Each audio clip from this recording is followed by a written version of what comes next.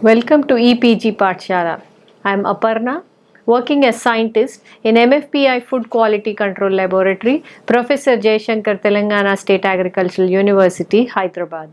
Today we will learn about low temperature preservation and processing. The preservation of food by refrigeration is based on a very general principle in food chemistry. That is, the molecular mobility in food is depressed and consequently chemical reactions and biological processes are slowed down at low temperatures. In contrast to heat treatment, the low temperature practically does not destroy microorganisms or enzymes but merely depresses their activity. Therefore, refrigeration retards spoilage but it cannot improve the initial quality of the product. Hence, the importance of assuring particularly high microbial quality. Unlike thermal sterilization, refrigeration is not a method of permanent preservation. Refrigerated and even frozen foods have a definite shelf life, the length of which depends on the storage temperature. The preserving action of cold exists only as long as the low temperature is maintained. Hence, the importance of maintaining a reliable cold chain all along the commercial life of the product is very, very important. Refrigeration must often be combined with other preservation processes which will lead to a hurdle principle and a better shelf life can be given to the product. Looking back into the history of refrigeration, natural ice, snow, cold nights, cool caves, etc. have been used for food preservation since the prehistoric times. However, to become a large-scale industrial process, low temperature preservation had to wait the development of mechanical refrigeration in the late 19th century. Frozen food made its appearance shortly before the World War II. There are some milestones which have led to the history in the mechanical refrigeration. It was in 1748 W. Cullen he has demonstrated refrigeration by vacuum evaporation of ether. Later in 1805 Evans has demonstrated the first vapor compression system which was improved later in 1842 by Perkins. Later, in 1856, a scientist named Twining has demonstrated the first commercial application of refrigeration, followed by Carey in 1859 who has used the first ammonia machine for refrigeration. In 1868, Tellier attempted refrigeration and transatlantic maritime transportation of meat. In 1868, Tellier attempted refrigerated transatlantic maritime transportation of meat, followed by von Linde in 1873 who has developed the first industrial refrigeration system in brewery. In 1918, the first household refrigerators have come into existence. Then in 1920, W. Carrier started the commercial air conditioning. Then in 1938, Birdseye started the frozen food industry.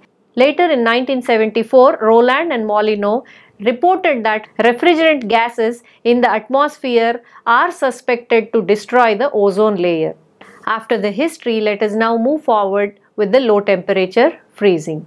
Food preservation at low temperature comprises two distinct processes. The first one is chilling and the second one is freezing. Chilling is the application of temperatures in a range of 0 to 8 degrees centigrade that is above the freezing point of the food while freezing uses temperature well below the freezing point conventionally below 18 degrees centigrade. The difference between the two processes goes beyond the difference in the temperature.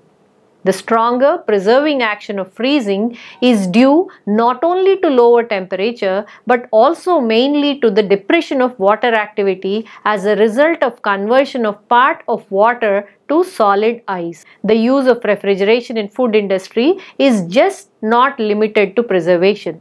Refrigeration is also applied for a number of other purposes such as hardening. For example, foods like butter and fats require that.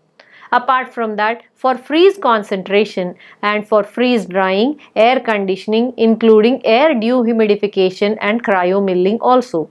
Let us try to understand the effects of low temperature on the food systems. First, we will try to understand the effect of temperature on the food spoilage. The effect of temperature on food spoilage is given by an equation called as Arrhenius equation as shown in the slide.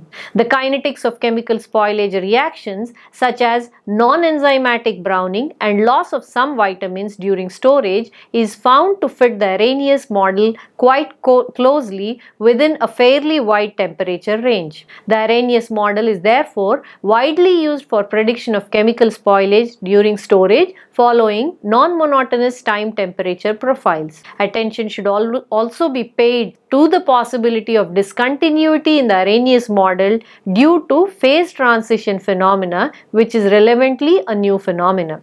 Let us try to understand now the effect of low temperature on enzymatic spoilage. The relation between enzymatic activity and temperature follows the well-known bell-shaped curve which is shown in the figure below which has got the maximum activity corresponding to optimal temperature characteristic to each enzyme.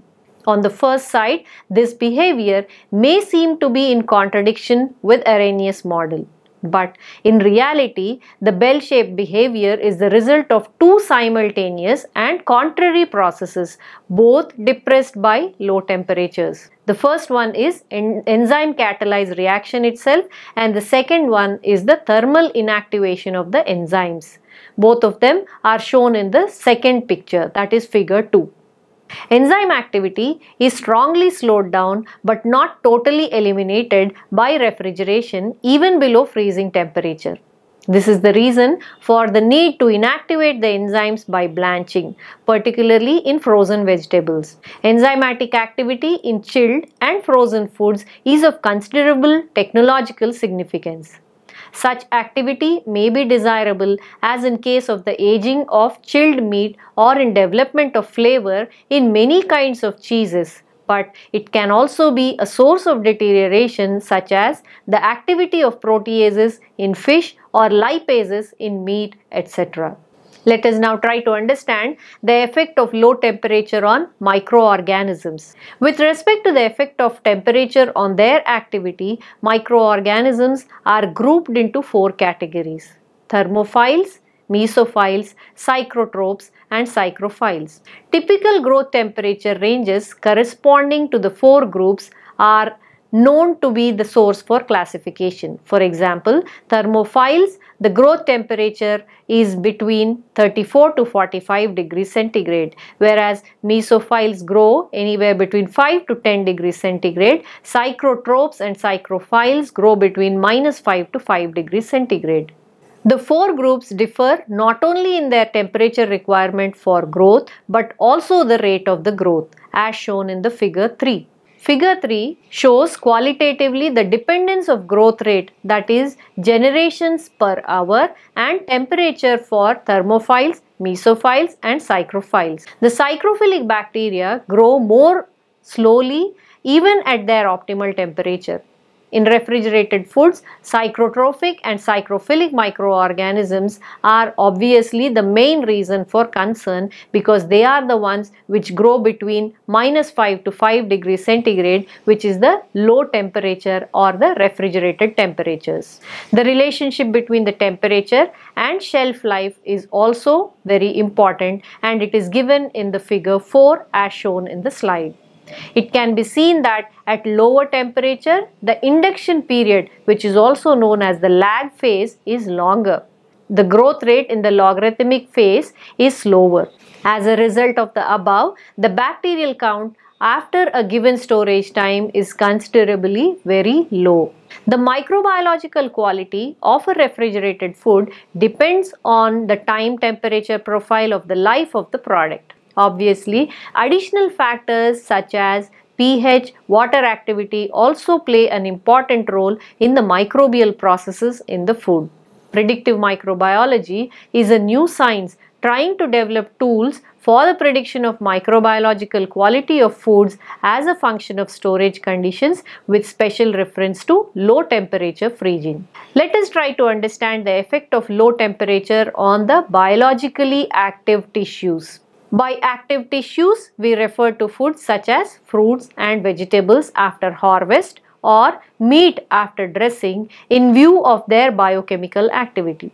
The principal biochemical post-harvest processes that occurs in fruits and vegetables is respiration whereas the sugars are burnt, oxygen is consumed and carbon dioxide is evolved. The rate of respiration is usually determined by measuring the rate of oxygen consumption or carbon dioxide release. Respiration is the most important cause of deterioration of fruits and vegetables during storage though not the only reason for spoilage. It is usually said that shelf life of the fresh produce is inversely related to the rate of respiration. The rate of respiration is closely related to the temperature.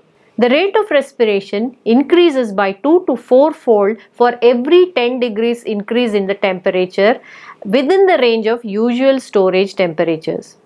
However, too low storage temperatures may cause a condition known as chill injury in certain commodities and must be avoided. Fruits and vegetables differ in the intensity of their post-harvest respiration rate. There is a rough classification of some fresh produce with respect to their respiration rate during storage.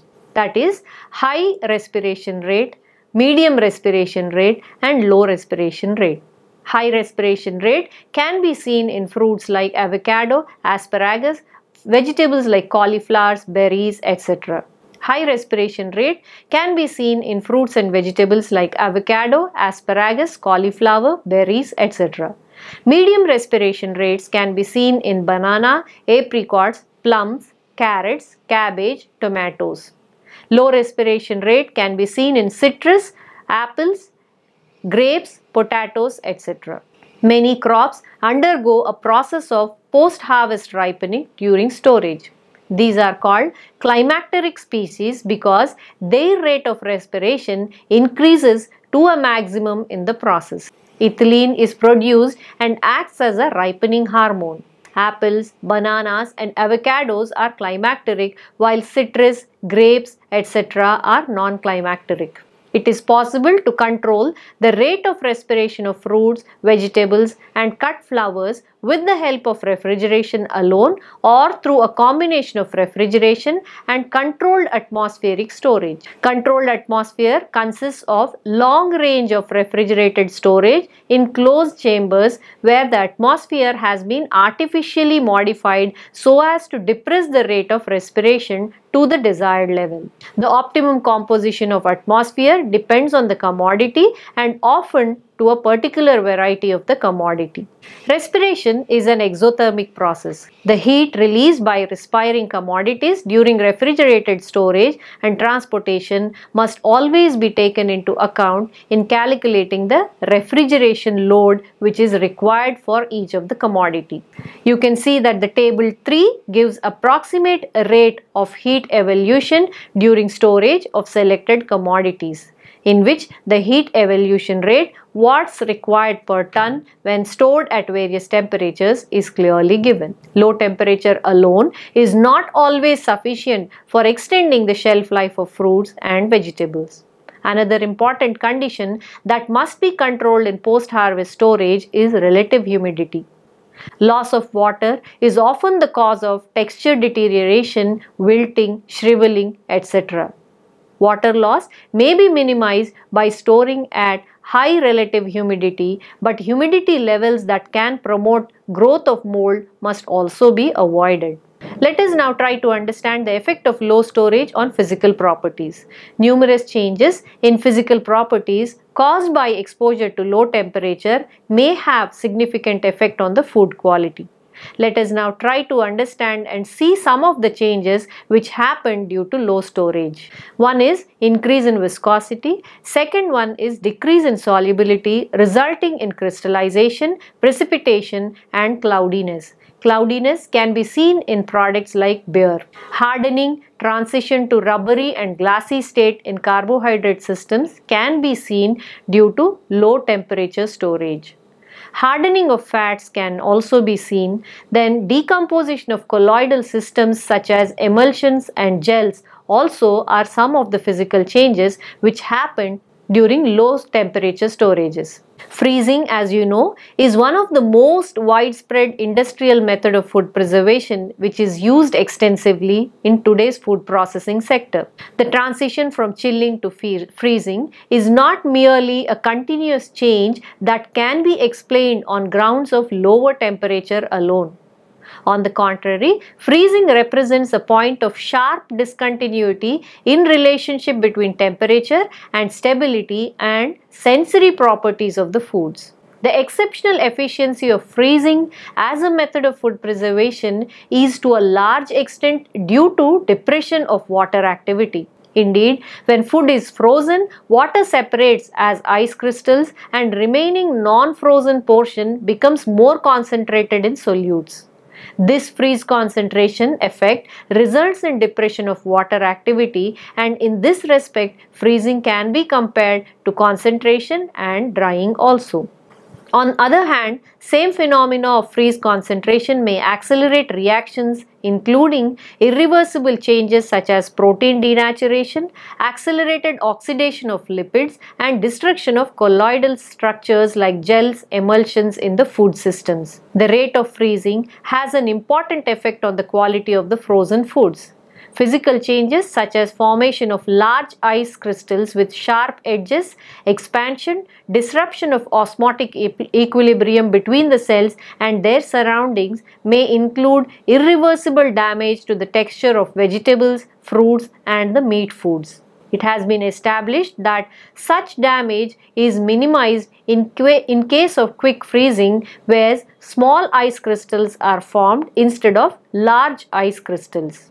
Let us now see the effect of freezing and frozen storage on the product quality. For a very large number of food products, freezing represents the best preservation method with respect to food quality. The nutritional value, the flavor and color of foods are affected very slightly if at all by the process of freezing itself. The main quality factor that may be adversely affected by freezing is the texture.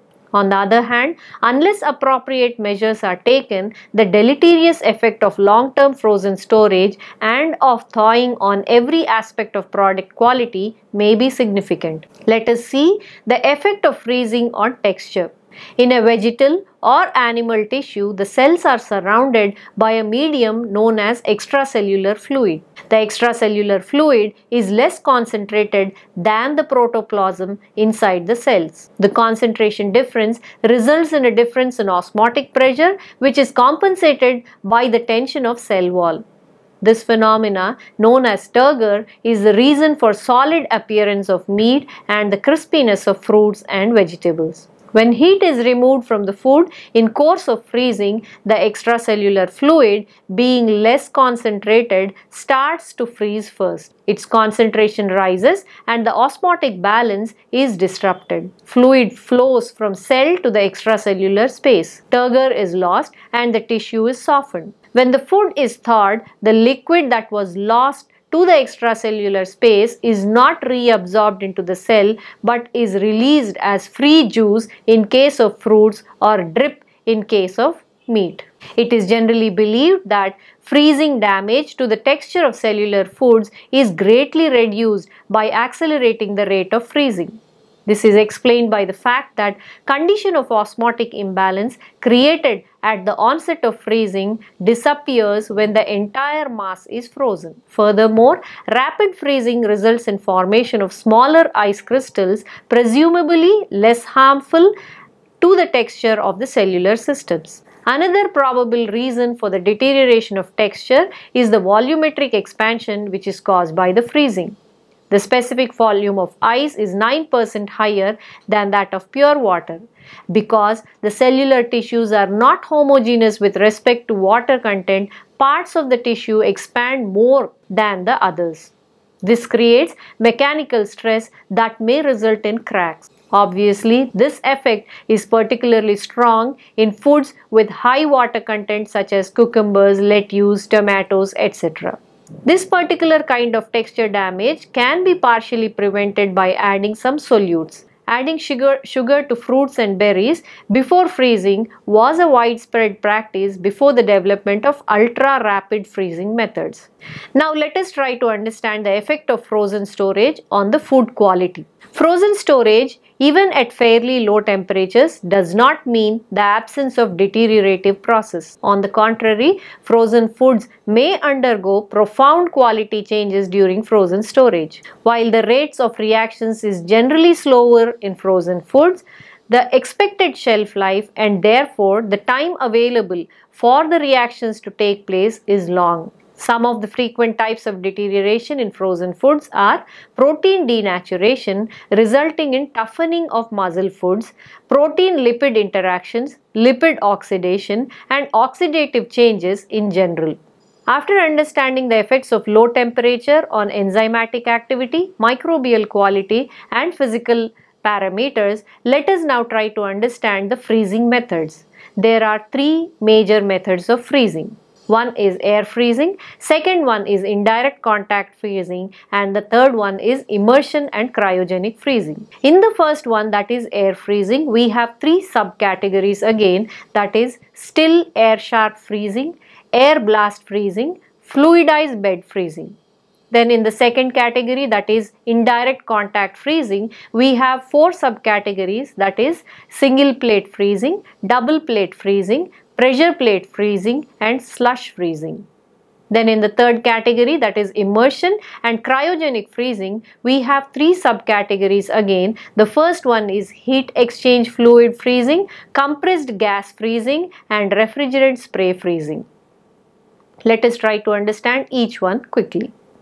First one is air blast freezing. Air freezing is the oldest and most common type of freezing which is used. The freezer section of the household refrigerator and the deep freezer are classic examples of still air freezers or low air velocity systems. Then coming to the air blast freezing, this is a moderately fast freezing technology because of vigorous circulation of cold air. The product is generally placed on tray or mesh belts and passed slowly through an insulated tunnel. In different systems, the temperature may range from minus 18 degrees centigrade to minus 34 degrees centigrade with an air velocity of 100 to 3500 lineal feet per minute with a counter current airflow air blast freezers operate at low temperatures than still air freezers and rely on movement of cold air at high velocity over the food in order to achieve rapid removal of heat and to maximize the freezing rate. Now we will try to understand the next type of freezing that is fluidized bed freezing. In this type of air freezing, solid particles ranging in size from peas to strawberries are being exposed to a movement of cold air with a temperature of minus 18 degrees centigrade to minus 34 degrees centigrade at high velocity as they pass along a conveyor belt. This will impart a vibratory motion to the food particles accelerating the freezing rate. The cold air being forced upward through the bed lifts and suspends the food particles. Thus, fluidization occurs. In this way, a rapid freezing rate is accomplished and an IQF individually quick frozen product is produced. In other words, food items are frozen as the individual pieces are not stuck together. Then we will now try to understand the advantages and disadvantages of the air blast freezing. The advantages are that the individual quick freezing or the fluidized bed freezing are very economical. They can freeze various sizes and shapes of food and IQF has more efficient heat transfer with increased rate of freezing. Similarly, there are some disadvantages also that is possible excess dehydration can happen which can lead to freezer burn. Then undesirable bulging of packages can happen because of expansion of the product and non-uniform products can be fluidized easily. Now let us try to understand the indirect contact freezers. Indirect contact freezers are used in the production of various frozen food commodities. In these freezers, food is placed on belts or trays and the refrigerant circulates through a wall beside the food. As the food comes into contact with the cold wall, it quickly cools down and freezes. Plate and slush freezers are some examples of the indirect contact freezers. During plate freezing, food products are placed in contact with a metal surface which is cooled by a cold brine or a vapor refrigerant such as ammonia. The packaged food material either rests on or slides against or is pressed between the cold metal plates and these plates maintain firm contact with two major surfaces of the packaging to facilitate heat transfer and prevent bulging of the packets during the freezing process. Fish sticks Frozen fish fillets are commonly frozen in plate contact freezers. Another type of indirect contact freezer is slush freezer or scraped surface heat exchanger. These freezers can be used only for fluid food products. A common example of scraped surface freezer is the machine used to convert ice cream mix to a soft ice cream in restaurants and ice cream shops. The same principle is used in commercial production of ice cream that is sold as hard ice cream. In the case of ice cream, the rotator not only aids in promoting rapid freezing and development of small ice crystals but also aids in incorporation of air bubbles into the freezing mix which results in the formation of a solid foam. After understanding the processes of indirect contact freezing, let us try to understand the advantages and disadvantages of the same. The advantages of the indirect contact freezing are that they are economical, they provide minimal dehydration to the foods and minimum package bulging is also provided with indirect contact freezing. There are some disadvantages also with indirect contact freezing. Some of them are it is a slow freezing process and the products must be of uniform thickness. Then coming to the last category of freezing that is immersion and cryogenic freezing. Immersion freezing involves the immersion of packaged or unpackaged food products directly into a non-toxic refrigerant fluid. The refrigerant fluids commonly used are propylene glycol, glycerol, sodium chloride, calcium chloride and mixture of salt and sugar. Canned citrus juices, turkeys, chicken, etc. are often frozen in immersion freezing units. Ice cream popsicles can also be frozen using this method. Then we have the next category that is cryogenic freezing. Cryogenic freezing is accomplished with cryogenic liquids like liquid nitrogen being the most commonly used. This is very rapid freezing method in which unpackaged or thinly packaged foods are exposed to extremely cold freezing. In contrast to liquid immersion freezing, heat removal is accomplished during a change of state by the freezant. Products such as TV dinners, preformed patties and other high value food products are frozen in cryogenic freezers because of the excellent retention quality imparted by the rapid rate of freezing and small ice crystal formation. After understanding cryogenic freezing, now let us try to understand liquid nitrogen cryogenic freezing. The product here is first placed on a conveyor belt and is moved into the pre-cooling part of the freezing unit. Once the food is cooled, the food is sprayed by liquid nitrogen as it is being moved through the conveyor belt. Here is where the freezing process takes place by the nitrogen boiling as it contacts the food. Finally, the food is allowed to equilibrate the desired final temperature which ranges between minus 18 degrees centigrade to minus 30 degrees centigrade. So after understanding the immersion and cryogenic freezing, let us now see what are all the advantages and disadvantages of immersion and cryogenic freezing. The advantages of this type of freezing include that it is a rapid freezing process with almost no dehydration and very good product quality. The oxygen oxygen is excluded, decreasing the oxidative spoilage in the foods. Then individual freezing pieces have less freezing damage when done with immersion or cryogenic freezing. There are some disadvantages also which include that it is very difficult to find suitable freezants for freezing the food matrices. Then apart from that, the cost of operation for immersion and cryogenic freezing is very expensive. So today we have learnt about low temperature food preservation and processing where we have learnt about what are all the different kinds of changes which happen to the food on low temperature processing and storage. Then we have also seen what are all the different types of low temperature processing methods. To conclude this entire topic, you have to know that freezing and low temperature preservation provides longer shelf life to the foods and it is carried out at a temperature much below 0 degrees centigrade and the freezing slows or stops the microbial growth. However, storage of the food at freezing temperatures does not kill the microorganisms and in fact many disease causing and spoilage microorganisms can still survive on the frozen foods for many many years and once the food is thawed the surviving microorganisms can resume their growth and function causing diseases or spoilage. And therefore proper freezing techniques and proper pre-treatments have to be given to ensure the quality of the food and retaining the physical parameters of the food also. Frozen foods as you know are of greater and higher nutritional value and with very good aesthetic quality attributes than the thermally processed foods.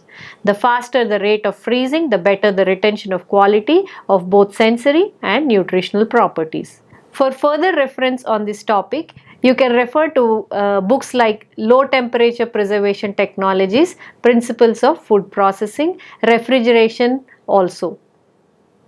Thank you.